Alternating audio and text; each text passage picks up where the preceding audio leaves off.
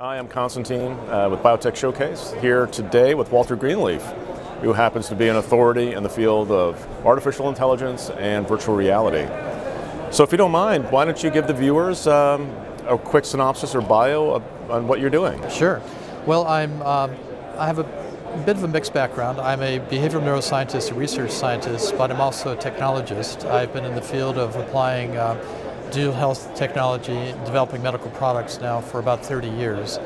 Within that, one of the themes I've been consistent with is applying simulation and virtual reality technology to medical problems. Uh, I have a particular passion for two areas within that. One is uh, how we can help with cognitive aging using technology, uh, support aging in place. And I'm also very interested in how um, AI technology uh, virtual reality and augmented reality technology can be applied to uh, difficult problems such as mental health issues, anxiety, depression, addictions, autism and Asperger's, and also neurorehabilitation. So actually it would be very interesting to learn um, a couple of points on how it actually is being applied in these areas and it's how, how, you know, how it really is helping patients. Okay. Well, the exciting news is that we've had uh, AI, VR, and AR technology for decades in research labs, so we understand what works and what doesn't work. And in many of these research labs, we've also had clinics where we've been applying the technology. The big change is now the technology is a lot more comfortable to use and certainly a lot more affordable. So it's starting to escape the research lab, the research clinics, out into the rest of the world. Some examples are um, we use virtual reality uh, technology to help treat phobias and post-traumatic stress by using it for exposure therapy. We use um, VR and AR technology to support home rehabilitation. So when people ha have had a stroke or traumatic brain injury, uh, they can uh, be guided on how to do their exercises right, do the recovery correct, make it interesting and engaging. Another example is addictions. We've used uh, virtual environments and AI technology to drive some of the characters that we put in the virtual environments to help a person who's uh, dealing with an addiction to learn situational confidence and refusal skills. So for example, we might have a virtual bar, virtual party, virtual crack house, where a person can practice how to say no to peer pressure and how to resist their cravings. That's really interesting. So if you were to take these learnings and really try to translate it into more broadly into the biomedicine space, which is largely the audience here today. Sure. What you know?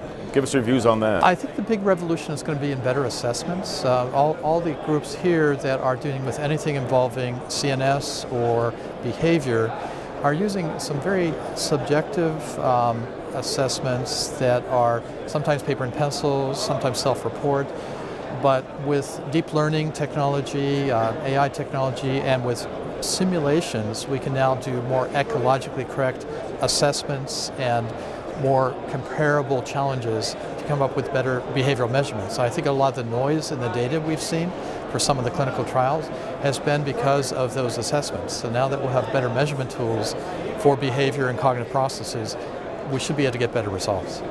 And so, I mean, that's to paint a very bright, rosy picture there on sure. its applications. There surely there has to be a couple of challenges along the way? Well, we have a lot of work to do. Uh, you know, I, the fact that we have some new tools that can evoke an emotional response and maybe teach someone how to respond to an emotional response, that's a great principle. But to build, to validate the paradigms, to come up with the right protocols, to come up with the standards, a lot of work to be done. But the good news, the rosy news, is that we have some new tools.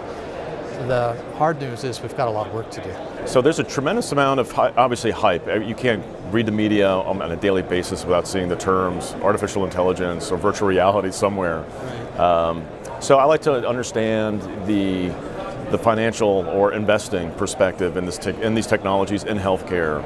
Um, where is it today? What are the implications moving forward? Is there a large demand? Do you see large money flows into this field? Well, um, the good news is there's been some watershed events that are helping um, uh, the technologies cross over into the commercial world.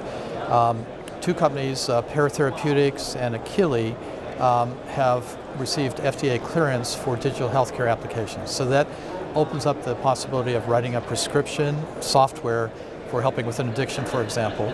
We're helping with uh, ADHD in the case of Akili, uh, addictions in the case of Pear Therapeutics. So the business model is cha changing and making it a lot more investable. There's also been examples of companies that have received significant funding. Um, um, Limbix Health has received uh, funding from Sequoia Venture Capital for their VR-enabled uh, post-traumatic stress treatment systems. Um, Reflexion Health has received uh, significant funding, I think up in the $20 million range for um, um, neurorehabilitation. And MindMaze is the unicorn in our space. They've received uh, $100 million plus at a, a billion dollar valuation.